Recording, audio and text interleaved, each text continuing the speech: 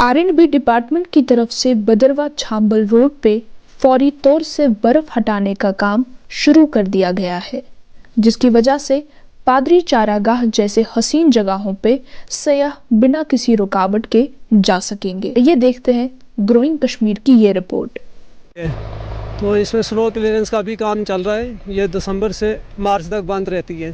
तो अभी पचास चालीस किलोमीटर तक इसकी स्नो क्लियरेंस हो गई है। तो ये लास्ट चालीस किलोमीटर में ग्लेशियर है बस इसको दो दिन लगेंगे उसके बाद हिमाचल बॉर्डर तक तीन दिन में कंप्लीट हो जाएगी।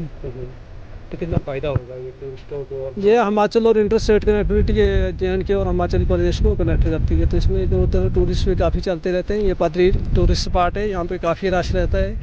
टूरिज़्म का भी काफ़ी इधर पोटेंशियल है काफ़ी इसमें।